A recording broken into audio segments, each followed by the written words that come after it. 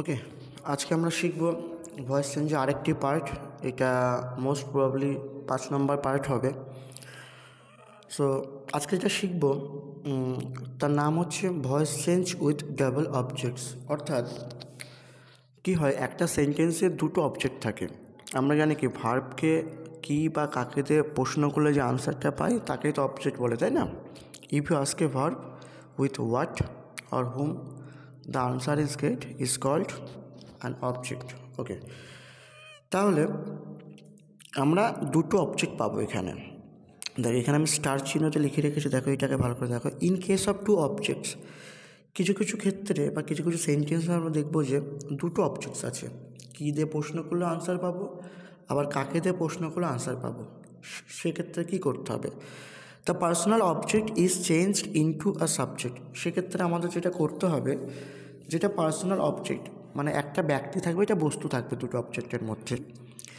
এবং যেটা personal object অর্থাৎ যে অবজেক্টটা ব্যক্তি বোঝাবে ওকে কোনো মানুষ বোঝাবে, সেই অবজেক্টটাকে আমরা সাবজেক্টে চেঞ্জ করব। And the other object remains as an object আর বাকি যে একটা অবজেক্ট সেটা অবজেক্ট হিসাবে থেকে যাবে। ওকে দেখো। He gave me a pen? সে আমাকে একটু কলম দিয়েছিল। চলো, প্রথমে যে ভার্ব আছে গেভ একে কোশ্চেন করা যাক। ওয়ার্ড দিয়ে। সে আমাকে কী দিয়েছিল? আমরা এই একটা অবজেক্ট পাচ্ছি আ পেন একে বলা ইনঅ্যানিমেট অবজেক্ট বস্তু। ওকে কাকে দিয়েছিল?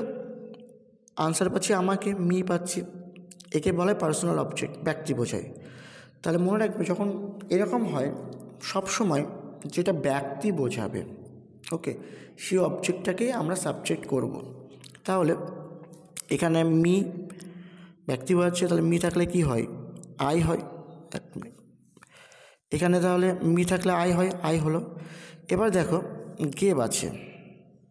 তাই তো? গেবটা কি ভার্বের দু নম্বর ফর্ম তাহলে সিম্পল পাস্ট হচ্ছে সিম্পল পাস্টে ওয়াজ বা ওয়ার বসে।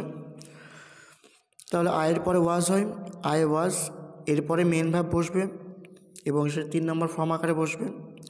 তো গেভের তিন নম্বর ফর্ম হচ্ছে গিভেন আই ওয়াজ গিভেন বাকি যে আর একটা অবজেক্ট পেন সেটা অবজেক্ট হিসাবেই থাকবে। আর পেন ওকে এরপরে বাই বসবে। হি থেকে হিম খুবই সহজ। অনেকে আবার এটাকে আবার এরকমভাবেও করে, সেটা আমি করে দেখাচ্ছি। কিন্তু আমি বলব পার্সোনাল অবজেক্টটাকেই আনা ভালো। ওকে আচ্ছা অর দিয়ে আর একটা করছি আমি। এবার আমি আর একটা অবজেক্ট ছিল পেন সেটাকে আনি। পেন ওয়াজ গিভেন এবার একটা টু অ্যাড করতে হবে। To me by him okay দুরকমভাবে করা যায়, কিন্তু আমি অ্যাডভাইস দেবো যেটা পার্সোনাল অবজেক্ট অর্থাৎ উপরেরটা তোমরা এইটাকেই করবে ওকে তোমরা এইটাকেই করবে, তাহলেই হবে। আন্ডারলাইন করে দিলাম, এটাকেই করবে। ঠিক আছে আর একটা দেখা যাক। He has gifted me a book সে আমাকে একটি বই গিফট করেছিল, উপহার দিয়েছিল। কাকে দিয়েছিল? আমাকে। কি দিয়েছিল? বুক দুটো অবজেক্ট পাচ্ছি। তাহলে দুটোর মধ্যে কোনটা করব? ডেফিনেটলি ব্যক্তিটা পার্সোনাল অবজেক্ট তাহলে পার্সোনাল অবজেক্ট কী আছে? এখানে মি আছে। মিটা কিসে চেঞ্জ হবে? আই হলো। এবার দেখো, এখানে হি ছিল তো হ্যাজ হয়েছে। আমি বলেছিলাম যে হ্যাজ থাকে হ্যাজ বা হ্যাভ এই দুটোর মধ্যে একটা বসবে। তাহলে হি এর ক্ষেত্রে হ্যাজ হয়।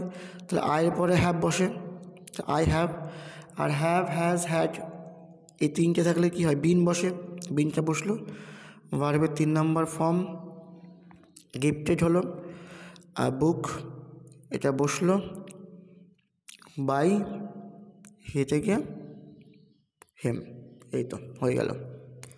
আর একটা I shall give you a nice phone আমি তোমাকে একটি সুন্দর ফোন দেবো। কাকে? তোমাকে? কি দেবো?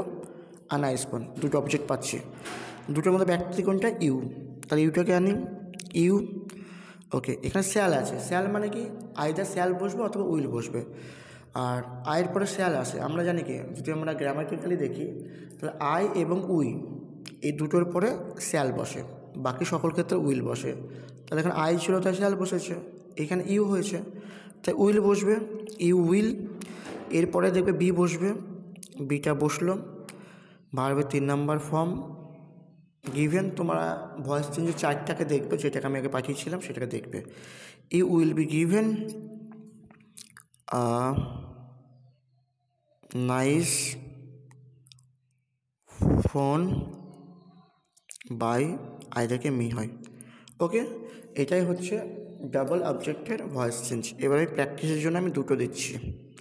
তোমরা করবে, করে অবশ্যই কমেন্টে আনসারটা লিখবে। আমি চেক করে নেব। প্র্যাকটিসের জন্য number one they have given her mm, a beautiful a beautiful painting okay আর একটা we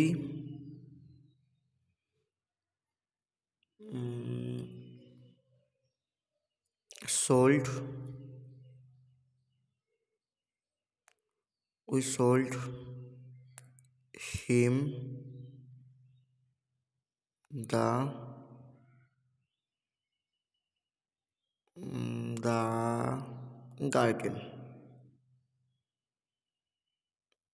we sold him the garden okay এই দুটো আমরা, আমি দিলাম। তোমরা অবশ্যই করবে, করে কমেন্টে ওকে আনসারটা লিখবে। কারেক্ট বা ইনকারেক্ট যাই হোক না কেন, বা রাইট বা রং যাই হোক না কেন, আমি অবশ্যই তোমাদের কমেন্টে রিপ্লাই দেবো। ঠিক আছে?